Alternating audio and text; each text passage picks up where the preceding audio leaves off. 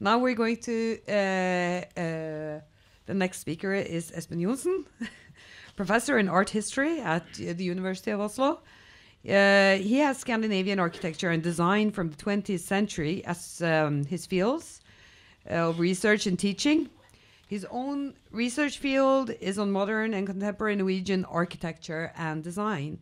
He also is also the leader of uh, the research project Discords Norwegian Architecture 1945 to 1965, with fur further research on Erling and Pagan. So this is our man for all our questioning, all our questions concerning the E-block. I think we will see.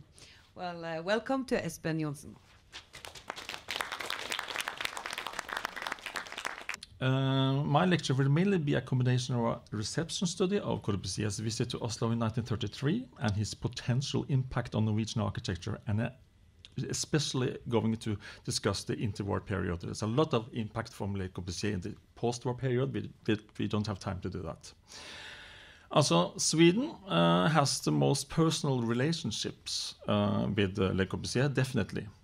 Denmark, as Ruth told us earlier today, has the more critical approach. But Norway definitely was the um, country, at least in these years, in the interwar period, that was um, that Le Corbusier really got a large impact.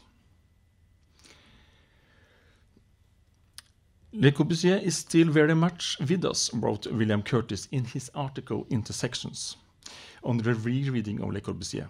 And Curtis pointed out that Corbusier's impact upon other artists and architects is much about ways of seeing, thinking, the image, and it is about the final forms.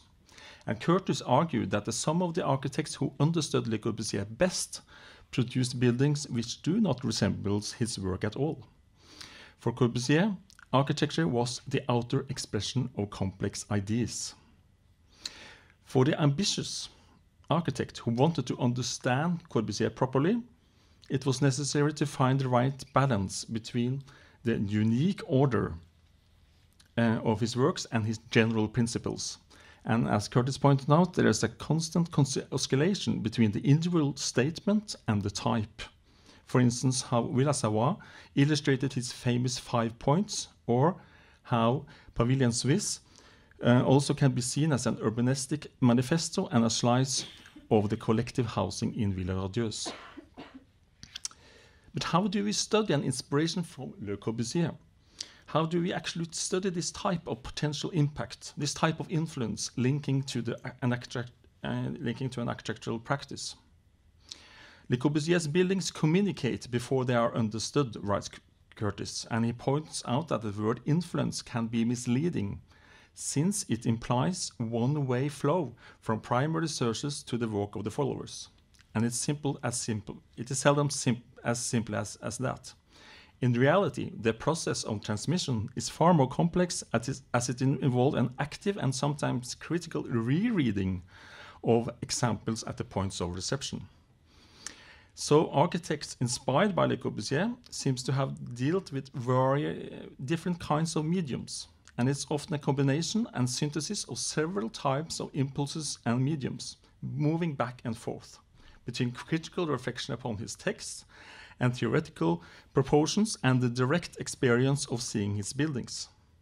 So one type of impulses represents the ex experience of uh, seeing work, uh, Corbusier's work in situ, seeing his building firsthand, while other is to meeting him personally at the office or at the conference or being a, listen to his lecture or uh, study his publications.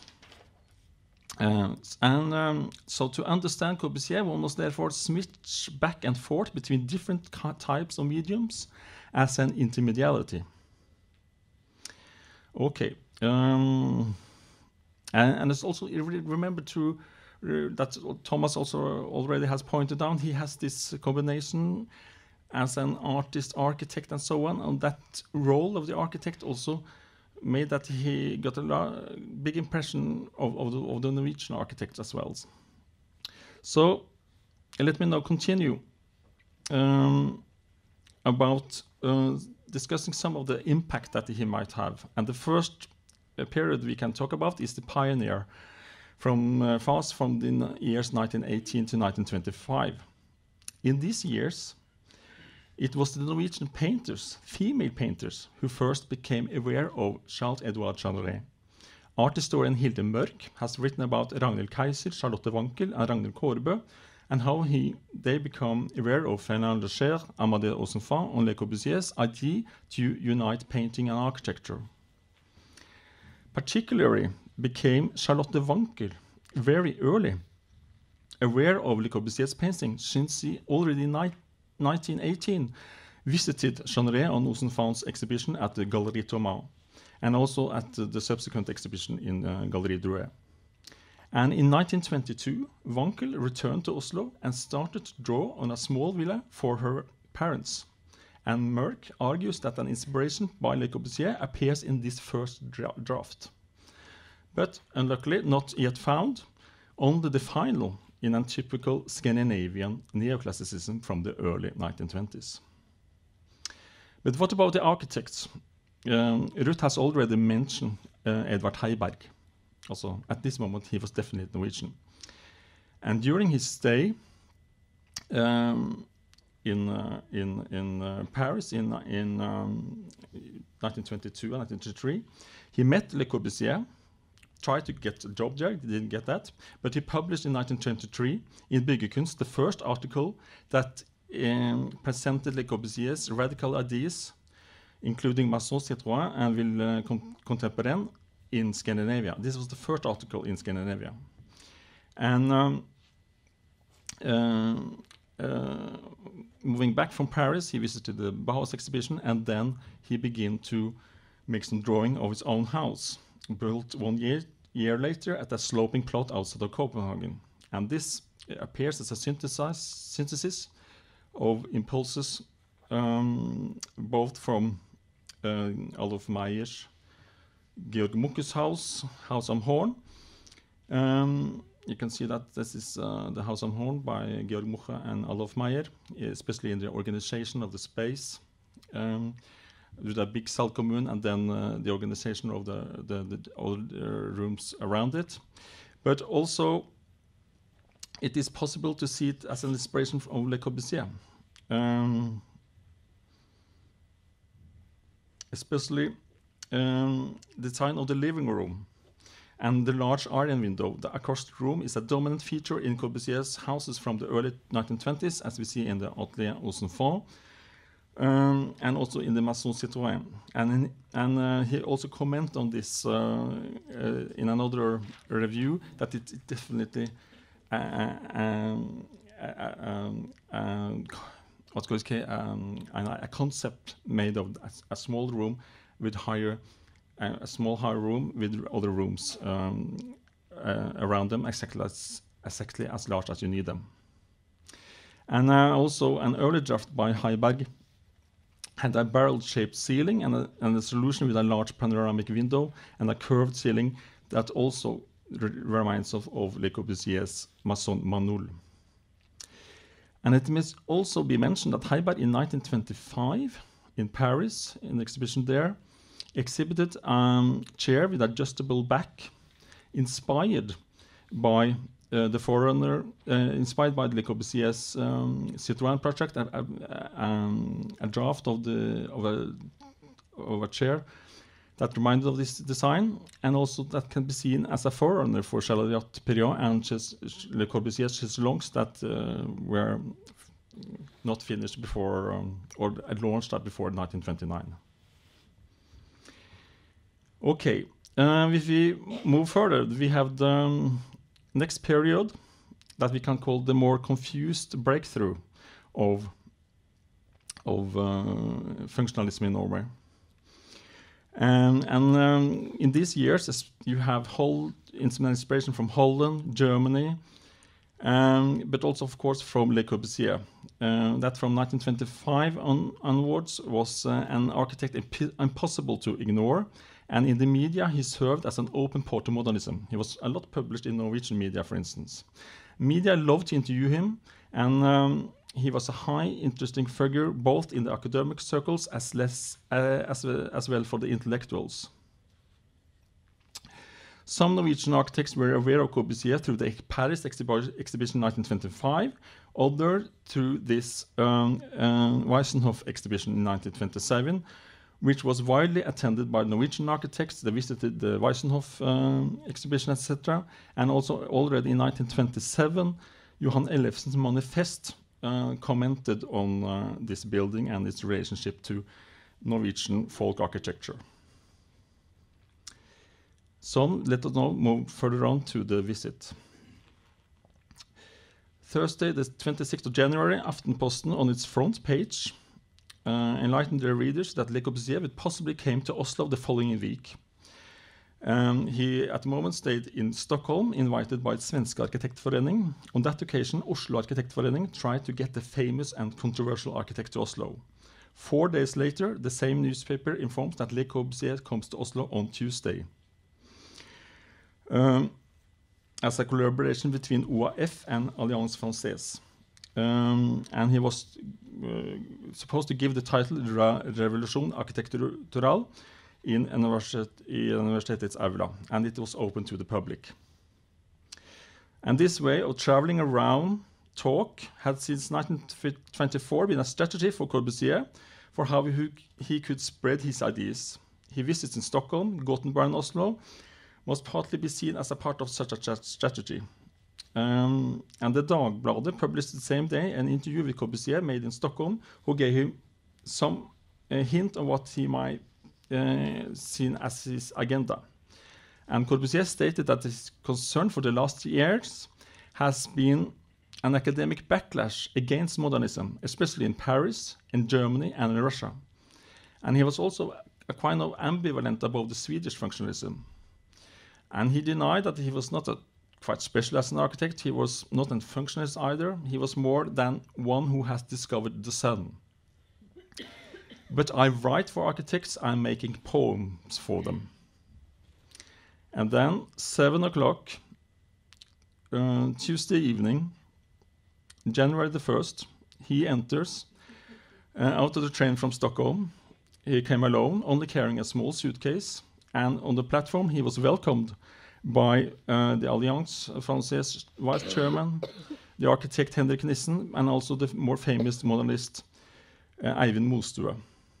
And 20 minutes past eight, um, uh, five minutes late, but evening dressed, Le Corbusier was faced with an almost full aula. And here we see him gesticulating during the lecture with a glass of water in the background, as he always should have wanted to be served towards the end of the lecture. It was not uncommon that Corbusier's lectures could have an audience of three or four thousand people, and uh, Le Corbusier himself was very proud that he was able to keep the audience attention for up to three and four hours.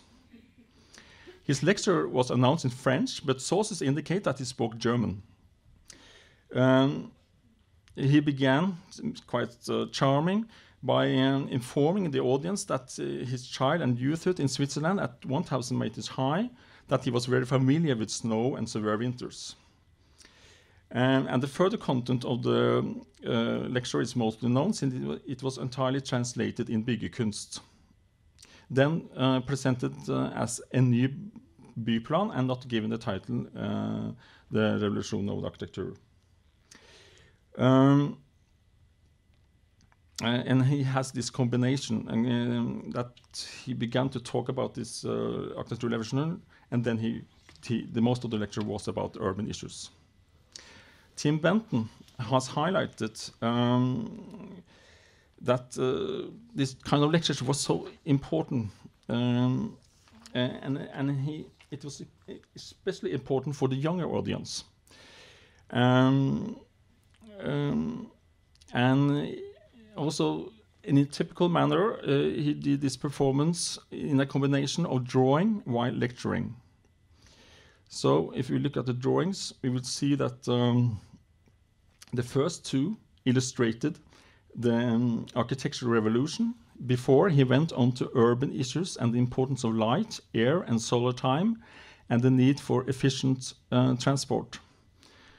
Further, he um, uh, explicitly addressed how the city for the future should consist of sky, trees, steel, and concrete. All aspects of uh, the Ville Radieuse, the brilliant and happy town, the radiant city. Before he finished with sketches of his city plans for Montevideo uh, and Rio de Janeiro. And according to the report, the uh, Corbusier's mastered to keep the audience attention and was answered with a prolonged, excited applause. And the lecture lasted for two and a half hours. And, and then Corbusier was so tired, so he dropped the, the conclusion. The original plan was that Corbusier would leave Oslo the morning after, but he decided to stay one extra day. And along with OAF, uh, he traveled around the city and visited, among others, Frognerseteren and the Viking Ship Museum. But he shall be especially interested in the integration of art and architecture, uh, especially in Munch's aula, but also in Per Krohg's decoration in Oslo Lysverker by the architects Bjercke Eliassen. He had many nice words to say about the city's most modern architecture, but this completely faded in the meeting with older Norwegian folk architecture and the Norsk Folkemuseum. He was gone for several hours. They didn't know where he were, and then they, some, some people uh, became aware that he has been at the Norsk Folkemuseum. Corbusier was thrilled and stated to the popular press, this is real functionalism. His plan was now to return to Norway during the summer to study the buildings more in situ. And he then wanted to cancel his plan to study architecture in Italy.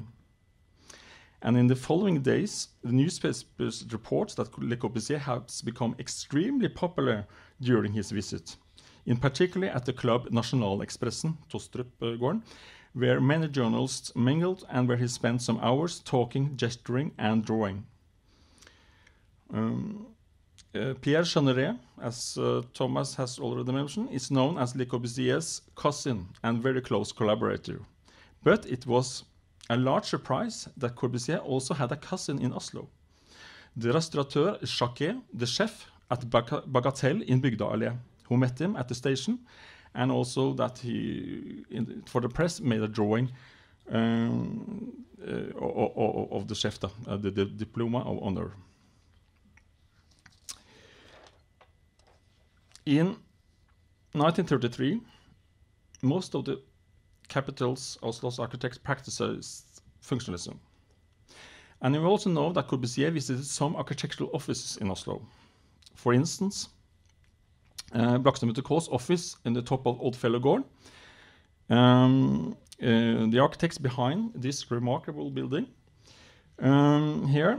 Um, and not only a few months later, uh, they were meeting each other again. Then uh, on board on the Patris II during the mythical conference CIAM 4 dis discussing the topic the functional city. And on board this, we have received uh, Herman Kaastad listening to Le Corbusier. And uh, on the following day, they presented their plan for Oslo.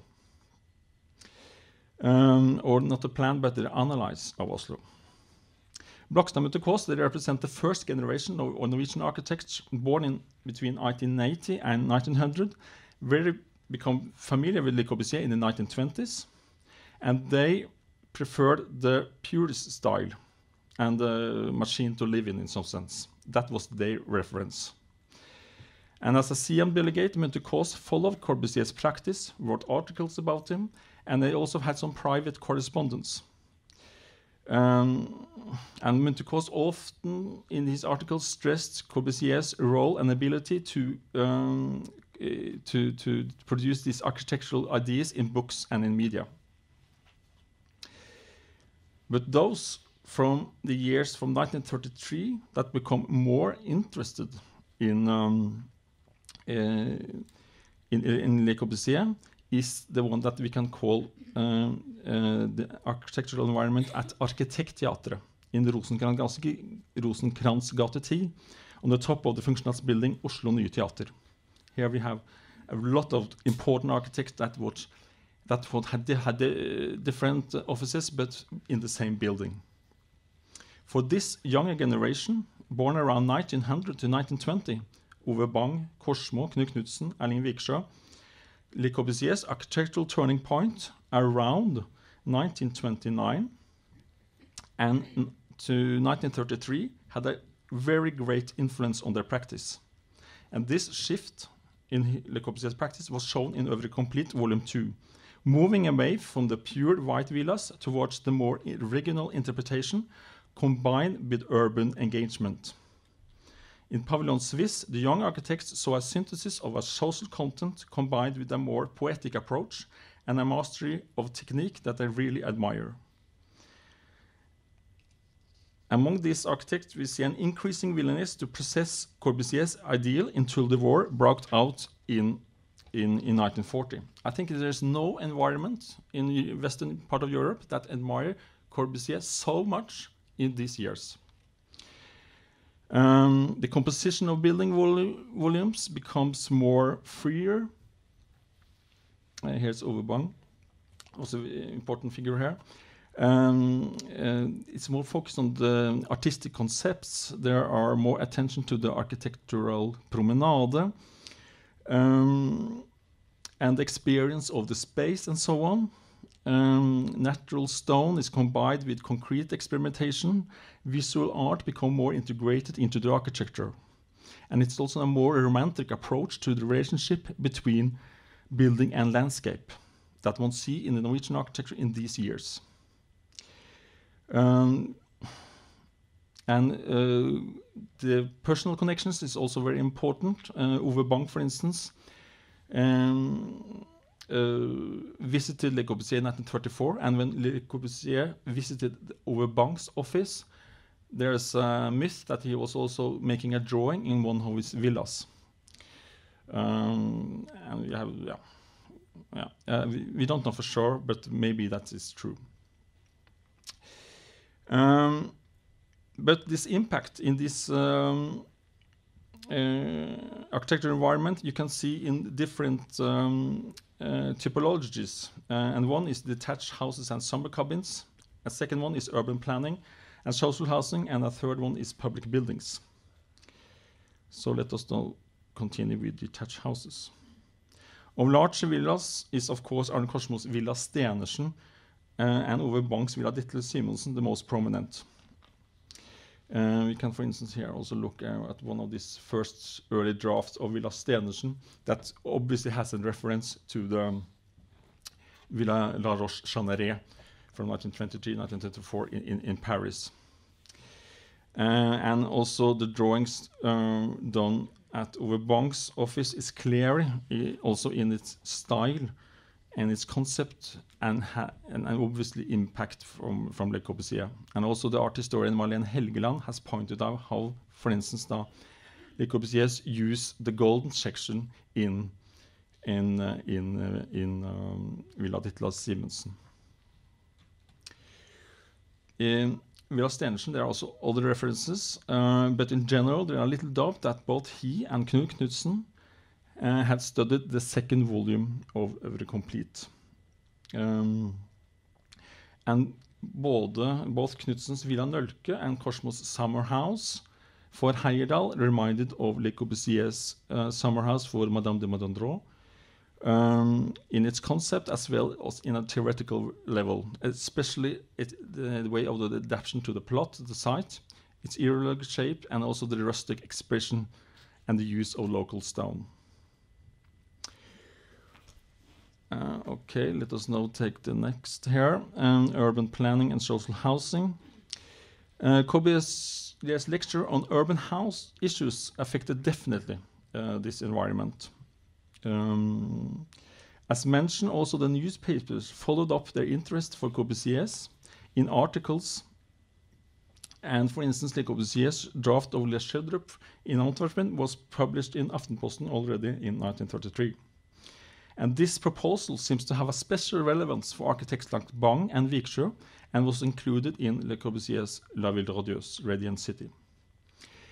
Bang's interest in this book is important to understand the um, commitment um, that he now adds in urban issues and the design of public buildings. He was uh, thrilled in his review of these books, the technical culture, the, and so on. Um, and he also uh, explain or expressed how Corbusier shows us an enormous potential and an enormous potential beauty for the future city. In these years, also, uh, Jan Reiner, and former Czechoslovakian assistant at Le Corbusier's office, comes to Oslo and stay there from 1935 to 1937-38. That was also uh, he, he, and Jan Reiner he played a role in spreading his extensive knowledge both of urban planning and of Le Corbusier, both through lectures, articles in the daily press, but also in Byggekunst and, of course, at the Bang's office. Um, yeah, may see this impact in uh, this uh, project for Vestervika, for instance, but also in the project they did together. Uh, here in um, for for uh. They drafted here an apartment block.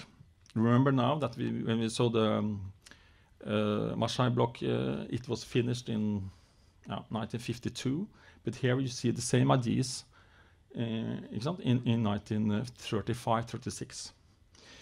Um, in order to provide a green view for the residents, one of the the the, the building must moves upward, they argued. And um, the solution was this uh, glass walled, narrow, deep apartments over two floors, and so on. Um, the architects also did a second revised uh, project of this uh, project for the Obos. Um, and at the same time they criticize the tightly packed high-rise buildings along Kirkeveien, and they call them a stone cemetery for the living. Also the funksjonhetsbuilding uh, uh, uh, that are uh, close to Marienlyst. Uh, and influenced by Ville Radieuse and their desire to provide nature for all, they also did this um, uh, revised project for this obos with two extremely long, continuous high rises building uh, 30 meters tall, 30 meters tall, 12 meters wide, and situated at least 100 meters apart. Um, and if, if, you see, um, also, also this should be sport and outdoor activities, etc. Something, and as as we see on the site plan, it would totally smash the royal palace in dimensions. The Marxist and the left-wing oriented Plan group, they had an ambivalence towards Le Corbusier. Uh, they were still not aware that he was not a communist, but they, they thought in the early 30s they thought that he was still still um, on the left wing. Uh, and um, Erik Rolfsen, he did um, obviously had studied the Ville Radieuse, and he did this radical sketch proposal from Oslo from 1935 with a vast residential belt that should be with um, eight floor high rise buildings, formed like an amphitheater in a sloping terrain towards the historic city. Obviously inspired of Le Corbusier's proposals for Nemours. And an alternative, an alternative sketch on the same idea proposed 2,000 high rise buildings on 12 floors. Okay, then let us take last part, the public buildings. Um, and then restricted more or less to the competition in 1940 uh, for the new government building. Nobody won the competition, but four of the entries got a prize, among them two projects made by architects from Bang's office. Ove Bang's draft, um, was uh, lauded for its fine location, which took take into account the lighting conditions. But in Erling Viksjø's uh, draft Vestibule, we find an advanced use of impulses from Le Corbusier that relate both to style, conceptual, and formal approaches, and the relationship between architecture and art. Also, this is the first proposal Viksjø made. He did a revised proposal after the war, in 46 and then a new proposal in 1952. That is more or less the final one. Uh, at least the final one is in 1954. But now we talk about his first proposal for this building in 1938, 1939, 1940. Um, in an advanced way, the building in its narrow form relates to Corbusier's building in Moscow, but also to the Pavillon Suisse. Uh, and in the relationship between architecture and sculpture, um, uh, it's obvious that Viksjø has studied Le Corbusier's controversial proposal for a of Nations in Geneva. And especially in this relationship between sculpture and and um, and also this um, there's a link in this sculpture that also link it to to um, Marcus uh, Plassen. And later on in Viksjø's drawing, you find also this link to Marcus Plassen. So Marcus Plassen is also a common reference for both Corbusier and Erling Viksjø. Um, and the most important reference for Dove is a project Le Corbusier made in Rio. Uh, and that is his first proposal that, that he made there. Um, and that especially relates to the relationship between architecture and sculpture. We can see that in, in, this, uh, in these drawings. Um, okay. Um, let us move further to concluding uh, remarks here. Also, Korsmo, Bang, Knutsen, and they all visited Paris during this period. They look at his building. Some of them also visited his office. And it's, even though some of these references very uh, formal, they, uh, without doubt, shared an admiration for his building. But also, they had to study his books, and especially his oeuvre complete. That seems very important for them.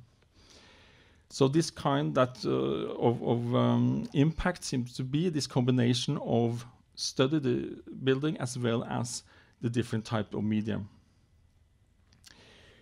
Um, Curtis he points out that when we discuss the influence of Corbusier, a broad distinction can be drawn between those who end up with creating as stale imitations and academic, and academic cliches.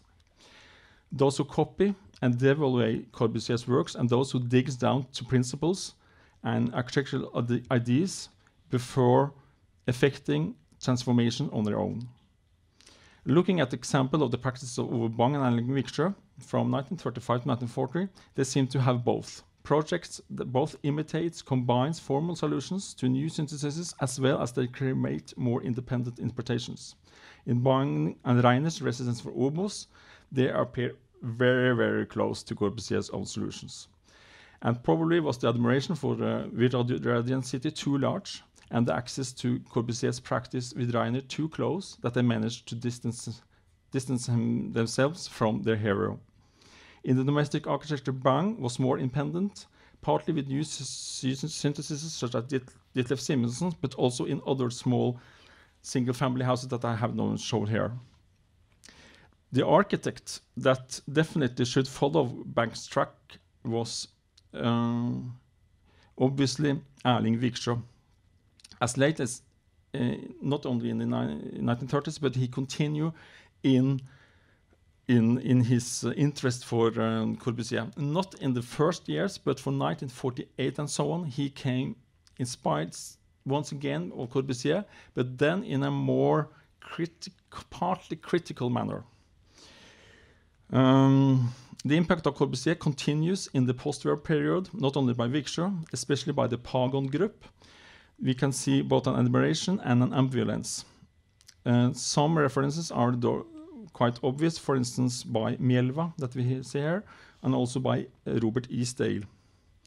And dialogues with Corbusier we might also found in church architecture, for instance, here by um, Odd Østby, uh, and also by Knut Knutsen's. Um, uh, students, like at Georg for instance, Georg Eliassens, but probably the deepest and most independent understanding seems to be by Sverre Fehn. Okay, then I thought 32 minutes, I'm finished. Yeah.